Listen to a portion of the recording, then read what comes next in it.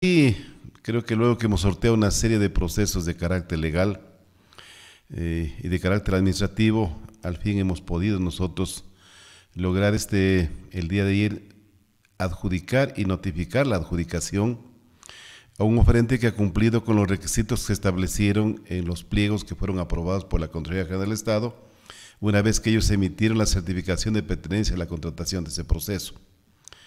Debo de indicarle que previo a eso nosotros tuvimos que atender un requerimiento insistido del director nacional de supervisión de procedimientos de contratación en el sentido de que eh, observó luego de 37 días que acogió un pedido de una empresa constructora en ese entonces, el proceso LICO 02-2021, eh, él eh, indicaba como justificativo de esa aceptación de que la comisión técnica de ese entonces se demoró eh, más del tiempo necesario, que es de hasta 15 días que dispone la ley, para la revisión, análisis, evaluación y calificación de las ofertas que en, ese entonces se presentaron, que eran 30 en total, y eh, además de que esta comisión había este, eliminado una subcontratista eh, sin hacer la, la, verificación justamente de que no estaba habilitado en el, en el, en el RUB ni en el RUC. Entonces eso dio lugar a entender que había una falta del debido proceso y él insistió en el procedimiento declaratorio de desierto respetuosos de la ley y luego que también el, proceso legal de acción de protección que presentaron estos constructores fue favorable a la, a la, empresa, tuvimos que dar de baja ese procedimiento e iniciamos justamente este proceso que el día de ayer culminamos con la adjudicación y notificación de la adjudicación. Esperemos que en los próximos días, ya eh, entre lunes y martes, podamos ya nosotros firmar el, contrato. Le hemos pedido al día de ayer mismo al contratista de que presente las garantías correspondientes para la eh, materialización del contrato y de manera inmediata eh, procederemos a la entrega del anticipo. Y yo espero que en menos de unos de 15 días estemos ya justamente iniciando esta obra tan anhelada por la gente. Bueno, ingeniero, ¿puede repetir un, poquito? Porque ayer que me pedían el, el espacio, era por un tema exactamente puntual. Parece que usted lo dijo. Pero puede decirlo así. ¿Qué es lo que ocurrió? ¿Qué era lo que faltaba? ¿Qué estaba pendiente? A ver, estaba pendiente eh, primero la decisión del Tribunal Constitucional respecto a la acción de protección, para que eh, se pueda justamente continuar con el proceso. Y también estaba pendiente que nosotros atendamos esta insistencia del director nacional de supervisión de procedimientos de contratación del CERCOP. Él insistió justamente en este procedimiento el que trae de cierto y lo pudimos hacer finalmente, paralelamente al otro procedimiento de carácter legal.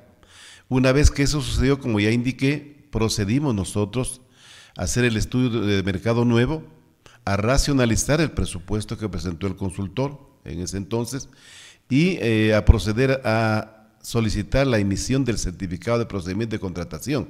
Es un procedimiento que actualmente la ley dispone para todo proceso de contratación. Antes era, al, año 2021 era para aquellos contratos que superen los 906 mil.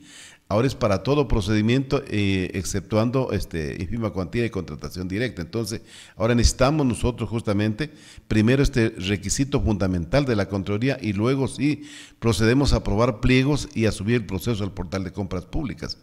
Entonces, estos procedimientos fueron los previos justamente para eh, un proceso que se dio eh, acortado tiempo, aproximadamente 34 días. Muy bien, ¿qué significa todo esto para los adjudicatarios? Puede decirlo así de la manera más sencilla y llana. Y yo le he dicho el día de ayer, creo que estábamos en deuda por más de dos años con, eh, con familias que creyeron en la propuesta política del alcalde Bailón a través de su empresa pública de vivienda. Es, es decir, dos años ha durado la obstrucción bueno, no tanto, no? tanto, yo diría que un año duró esa obstrucción. Ah, ya, ya. Dos años. El otro fue la pandemia. perdón, eh, desde que se inicia la oferta, ¿no? Así es, sí. Ya. ¿La obstrucción ha durado qué tiempo? Aproximadamente un año. No, es, es, bastantísimo, ¿no? Sí, sí, eso nos ha perjudicado mucho. Entonces, usted como que está ofreciendo disculpas, ¿no? Por todo lo que ha ocurrido. Pedro ahora les está diciendo que empieza a cristalizarse este proyecto. Sí, doctor, Dios quiera y, la señorita nos apoye en este, en este proceso, que realmente a partir de, de, este año demos respuestas positivas a la gente. Y yo creo que lo más importante es saber honrar la confianza que la gente le pone a una autoridad. Exacto. Saber eh, de administrar los recursos que ellos aportan, porque aquí no hay recursos del Estado como lo manifesté ayer. Aquí son recursos de la gente que aporta por tener un techo propio, y sobre todo por cristalizar un anhelo fundamental de la familia, tener su vivienda propia. Yo creo que es muy importante, la familia ha hecho grandes esfuerzos, incluso como eh, yo le manifestaba en el antecedente, mucha gente soñó demasiado, posiblemente, porque hizo un crédito al banco que lo utilizó en la entrega del anticipo inicial y también parte de ese crédito, muchos, eh, estimo yo, por lo que el contacto que tengo con la gente, invirtieron en, los bitcoins. Entonces, ahí... eso, eso, vamos, íbamos a hablar eh, enseguida. Entonces, pero ese esfuerzo es importante porque la gente está buscando cómo materializar su sueño, de crecer, de proyectarse, de no solamente llegar a tener una vivienda, sino ir mucho más allá con su economía. Entonces, en ese sentido, yo creo que yo, lo que tenemos las familias que hacer es aterrizar en territorio, y saber que solamente el trabajo tesonero día a día hace posible que sus sueños se materialicen. El dinero fácil nunca ha sido importante para nadie, más bien son pérdidas de tiempo y justamente los, eh, los sueños quedan truncos, ¿no? Esperamos que con este procedimiento nosotros que hemos adoptado estemos cumpliendo en parte justamente este sueño, que podamos hacer inmediatamente también ya el inicio de los procesos precontractuales para ejecutar las viviendas que se, que se ofreció tanto por, por el señor alcalde como por la gerencia en este año. Queremos ir un poquito más allá de la oferta que tenemos. Nosotros habíamos planificado 194 viviendas que debemos de entregar hasta el mes de, de julio o agosto. Voy, voy, también a hacer un concurso público, una licitación pública con recursos privados. Voy a ver cómo me va. Si eso sucede, estaríamos con una proyección mucho más grande porque estaré justamente trabajando con siete manzanas con ese procedimiento. A ver, ingeniero, tal vez tenga en mente usted alguna cifra, tal vez. ¿Cuántas personas se inscribieron y concretaron al inicio del proyecto y depositaron el dinero? ¿Cuántas? Tal vez tiene... Eh, eh sí, doctor Freddy. Y yo he visto en los registros que cuando iniciaron se inscribieron exactamente 1.280 familias. Pero de esos, de esos materializaron la, la, propuesta 721 familias. Ya. Pero también se han retirado, en este momento tenemos 680 familias que aún se mantienen y que también han ingresado. Porque o sea que es mínimo en todo, de todas maneras el número de gente que se ha retirado. Sí, sí, no, se mantiene, hay una demanda muy importante. Yo creo que esta falta de, ejecución de obras ha hecho que la gente también se vaya. Esperemos que más bien esa gente que se fue regrese, ¿no? porque el proyecto es para ellos. Claro, bueno, va a ser difícil por algunas dos razones. Esta gente emigró en su mayoría para ir a, estos dineros electrónicos, a estas ofertas eh, que, se están haciendo.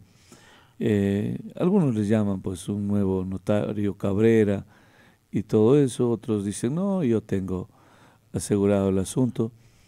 Muy bien, mira, la, eh, Juanita, la Charito, la Charita, a todos ellos les ha ido bien, entonces no hay problema. Entonces la gente sigue metiendo dinero siguen metiendo dinero y, se están yendo de lo que es real, de lo que es concreto, para ir a lo que puede ser un espejismo. Pero bueno, cada quien hace con su plata lo que le da la regalada gana, ingeniero.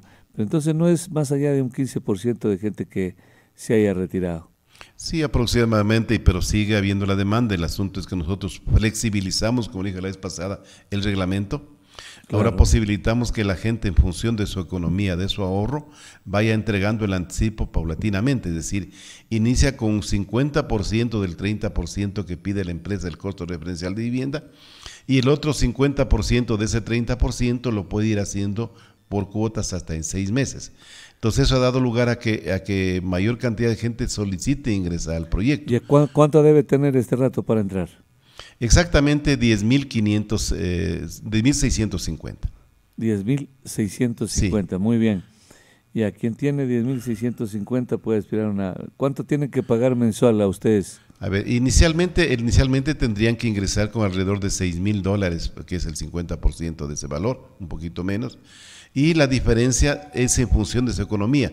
El asunto es que ellos tienen que cumplir el anticipo en esos seis meses posteriores porque también nosotros, como trabajamos con el dinero de la gente, si queremos hacer obra necesitamos recursos para poder hacerlo.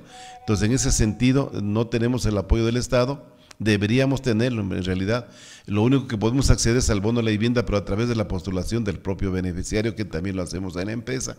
Pero ese es un asunto que también no está tan claro porque la política del Estado en este rato está trunca por la falta de economía. Yo veo que también el MIDUBI en este rato no está gestionando, sobre todo en la provincia de Loja, proyectos de vivienda de interés social.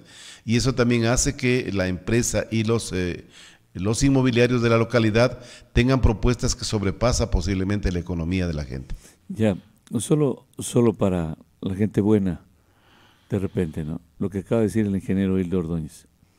El MIDUBI no gestiona, no ha gestionado, pero existe un MIDUBI, existe un funcionario existen funcionarios que ganan mes a mes su sueldo, que no tienen razón de ser, de existir esta institución, que el Estado no aporta en nada.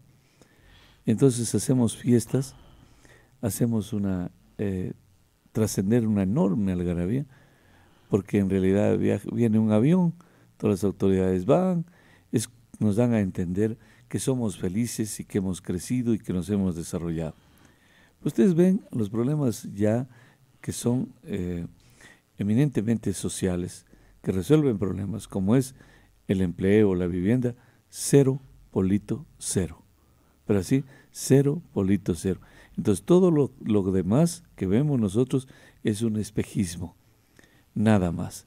Ustedes van al banco de, de fomento, se encuentran que exactamente en este gobierno subieron los intereses.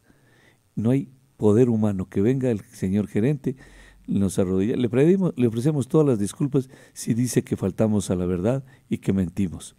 Si cualquiera de los gerentes que, que vengan acá y nos digan lo contrario, nosotros pues humildemente corregimos, rectificamos, si no le podemos demostrar en hechos de que los intereses no solo que no bajaron, sino que subieron en este gobierno y, y en este año, sobre todo, subieron los intereses. Eh, le podemos demostrar hasta la saciedad cómo es el modus operandi. Entonces, vean ustedes, entonces la gente tiene que dar diez mil y pico de dólares que a su vez no los tiene ingeniero, que los saca de, de la banca privada, de una cooperativa de ahorros, de un banco, hace préstamos para darle ese, ese anticipo. ¿Estamos de acuerdo o no? en la mayoría sí funciona. Sí, doctor Freddy, la mayoría funciona así. Eh, realmente hemos conversado con la gente que está creyendo en esta propuesta que eh, tiene que ser fruto del ahorro diario toda propuesta para que se pueda cumplir un sueño.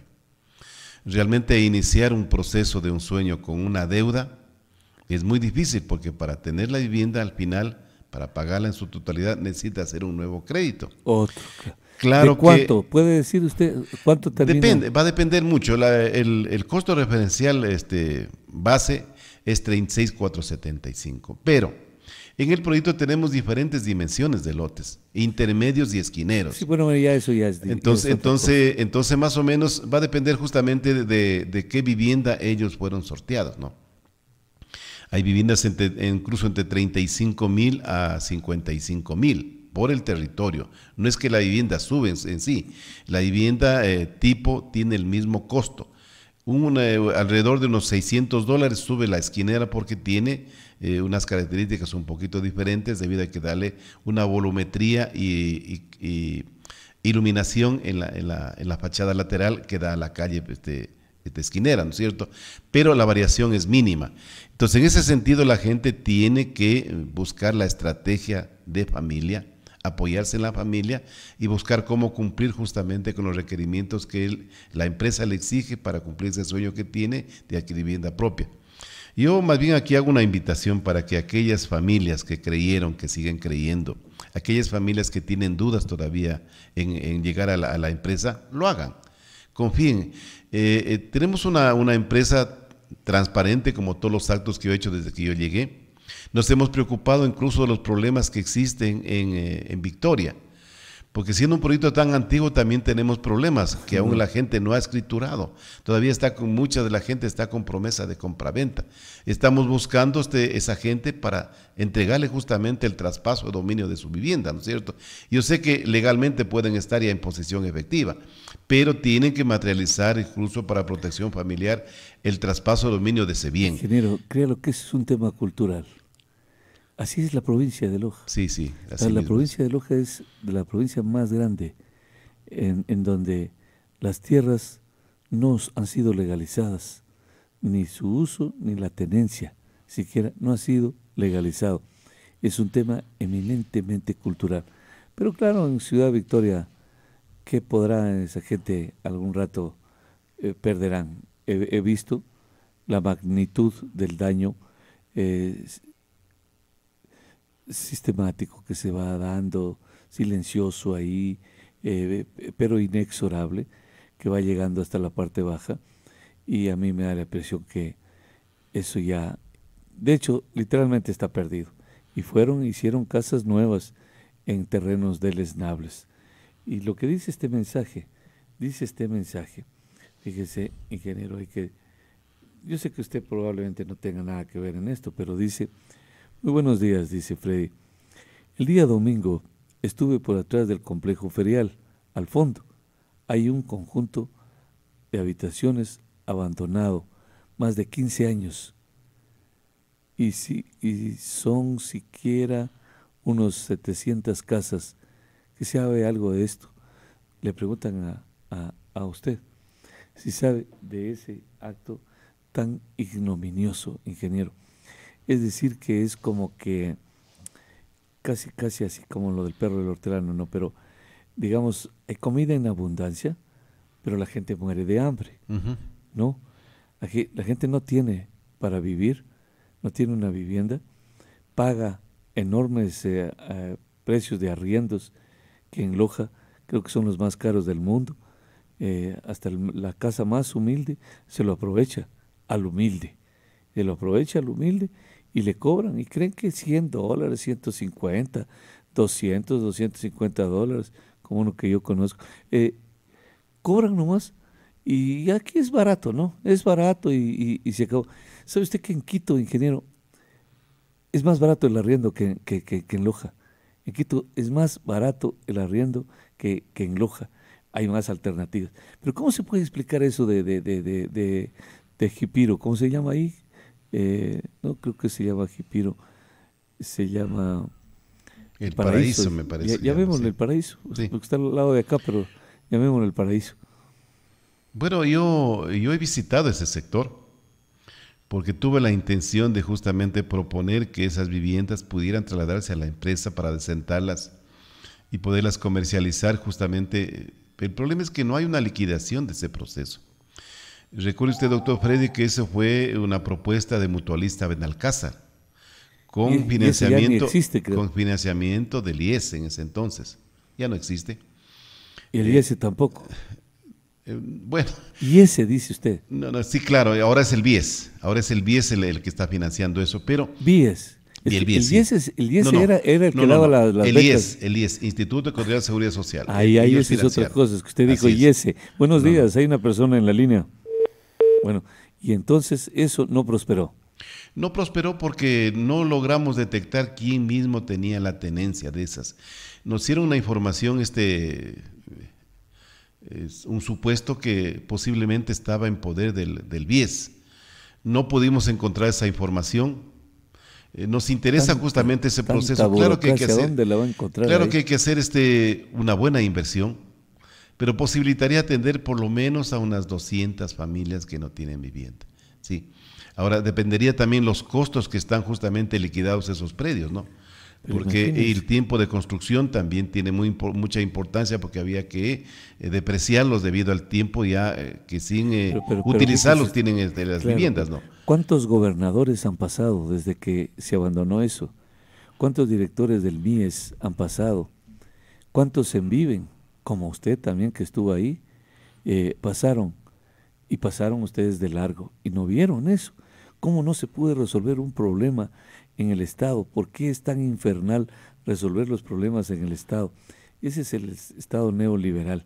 Buenos días, le escuchamos, adelante. Gracias, Freddy. Con, un saludo al ingeniero Hildo Ordóñez y a sus oyentes.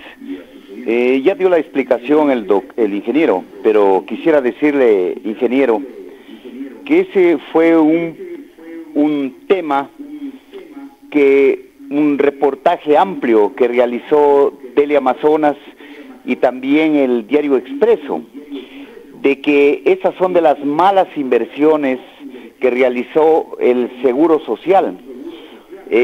incluso parece que está en litigio la tenencia de la tierra. Eh, muchas veces son verdaderas cajas de fósforo. verdaderas cajas de fósforo. Una, una, de esas son las que se venden aquí en Loja en 100 mil dólares, Freddy. Una, una, una extensión de 35 centímetros llaman desayunador inglés Ahora con la pandemia los niños no tenían en dónde eh, hacerles un espacio para, para, para su sala Zoom, una pequeña sala Zoom, porque el estudio, según estos nuevos arquitectos, es simplemente una mesita en la cual entra el computador, nada más. Yo no sé en esa inmensidad de tierra, tierra, ¿Cómo, ¿Cómo pueden allí vivir una familia con cinco o seis miembros? Los psicólogos dicen que los que se desarrollan en esos espacios tan reducidos, su temperamento es altamente belicoso. Eso no lo digo yo, lo dicen célebres psicólogos. Esa, esa, eso quería aclararle. Buenos días. Gracias, profesor. También. Bueno, entonces, eh, interesante tema que no es objeto de la entrevista del día nada, de hoy, así que vamos de largo, pero otro día sí deberíamos hacer un conversatorio para ver cómo la, una autoridad puede pasar de largo y no hacer una mínima gestión ¿no? de recursos que se pierden ahí, mientras la gente no tiene dónde vivir, que paga altos arriendos, casas ahí abandonadas. ¿Qué es eso? ¿Qué, qué es este país no tan ignominioso, tan indiferente? Entonces, pero acá vamos con Punzara, Punzara amenaza con ser ya una realidad, ¿no? Eh, sí, como le decía este doctor Freddy, ayer materializamos ya la adjudicación al, eh, al oferente este, consorcio Punzara Loja y eh, hemos pedido ya justamente que presente las garantías para, para la formulación del contrato y la entrega de los anticipos en ese sentido, nosotros queremos ya eh, eh, máximo en 15 días estar iniciando esa obra. Lindo, lindo. Sí, y también, como le decía, nosotros estamos trabajando ya eh, en la reaccionación de los presupuestos porque se incrementó el básico unificado, se incrementó mano de obra, se incrementaron materiales y queremos ver exactamente cuál es el nuevo valor de la edificación de la vivienda. O sea, ese es el resultado de la gente también de mala fe, políticos que hicieron hasta lo imposible por retrasar la obra. ¿Por qué, por ejemplo, el pueblo de Loja, humilde, bueno, no tiene eh, esa información? Que hubo personas eh, que hicieron tanto daño en el pasado a, Loja y que lo siguen haciendo. Debería el alcalde, ojalá que algún día me acompañe acá, venir y con nombres y apellidos, ponerles así con nombres y apellidos, cuáles fueron las personas atrás a pueblos, eh, como llamaban antes, ¿no? Atrás a pueblos. Y, eso que antes ponían lista, hacían lista y la colocaban ahí en el, en el hall de los que se oponían al desarrollo de Loja. Y ahora ponerlos para que diga el alcalde quiénes fueron las personas a la cabeza que hicieron semejante daño. Entonces, cada vez que se retrasa la obra, claro, viene incremento de salarios, sube. Viene incremento de materiales, sube. Así funciona, ingeniero. Sí, pero bueno, este, nosotros tenemos la, la ventaja, se podría decir, de que en un concurso, sea de licitación o cotización, existe la posibilidad de que el oferente se baje un poquito. Y existe un colchoncito que posibilite esos incrementos de, atender estos incrementos de obra, como también los reajustes de precios. Es por eso que el costo referencial, como le decía la vez pasada, puede subir, puede mantenerse o puede bajar un poquito. una vez que liquidemos el proceso, ¿no? Eh, todo, todo depende de cómo se administre la ejecución de la obra en sí que no se generen costos complementarios adicionales que afecten justamente en la liquidación del proyecto. Es por eso que nosotros este, vamos a ocuparnos de poner un buen equipo de fiscalización y supervisión de este proceso para que tanto las obras de infraestructura, los temas de agua potable, alcantarillado pluvial, sanitario, el drenaje que se va a realizar en esta propuesta, se hagan acorde a la técnica, se hagan con la seriedad necesaria, pero también se hagan de buena fe.